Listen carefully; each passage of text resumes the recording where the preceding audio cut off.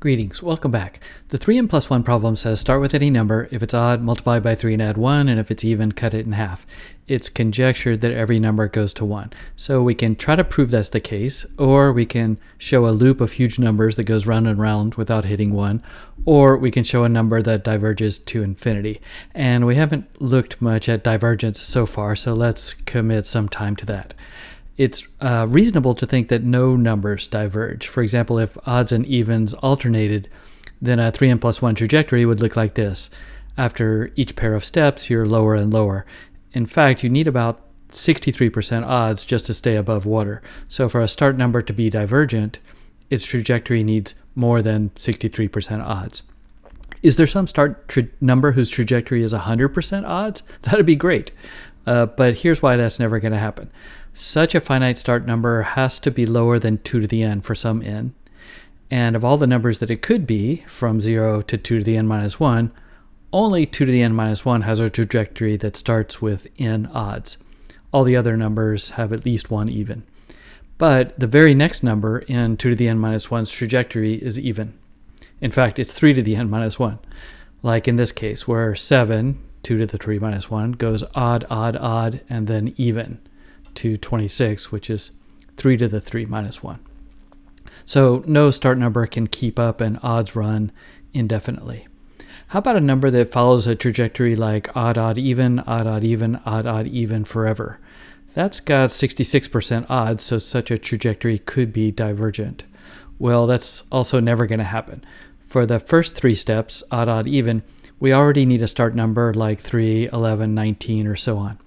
But on the fourth step, every other one of these numbers fails, producing an even where we wanted an odd. And on the fifth step, every other one of the remaining numbers fails to produce an odd, and so on. No matter what number we start with, we can predict the exact step at which it won't obey our proposed trajectory. Unless we go negative. So here we get negative 5, negative 7, negative 10, negative 5, no, negative 7, negative 10, etc., which does obey the odd odd even trajectory indefinitely, but it's a loop instead of a divergent trajectory. Okay, so maybe a divergent trajectory would have to be kind of irregular and willy-nilly. So too bad we don't have a divergent number that we could actually inspect. Actually, we do. In the 5n plus 1 problem, start numbers trend upwards instead of downwards. So this blue line is going to grow uh, so far so fast, we, we actually better put it on a log scale.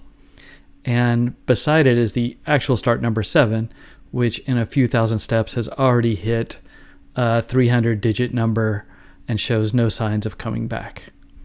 And the evens and odds look pretty random walkish, like the digits of pi. In fact, if you go out to step 992,410, you see this sequence of evens and odds which, if you arrange them into a rectangle, it spells AI. A little shout out to our future overlords.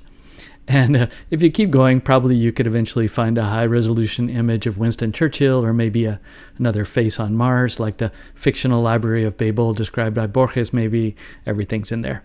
But maybe not, because in fact, no one's managed to prove that 7 is a divergent number under 5n plus 1.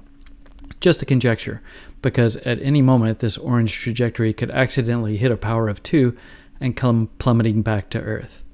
However, the probability of that seems pretty low, because at each step there's about a 4 fifths to the n chance of hitting a power of 2, so if you haven't hit one in the first 100 steps, there's only a 1 in a billion chance of it ever happening. Ever. So it's conjectured that there are no divergent numbers under 3n plus 1, and it's conjectured that almost every number is divergent under 5n plus 1, but no proofs. You have to go all the way to 1093n plus 1 before you can make some solid claims, which we saw in episode 39, where some odd numbers immediately hit a power of 2 but are inaccessible from the rest of the odd numbers. So those odds can never reach 1, which means they diverge to infinity or maybe every single one of them gets caught up in some giant loop. Well, there's more to say about divergence, so uh, let's get to more of that in the future. See you next time.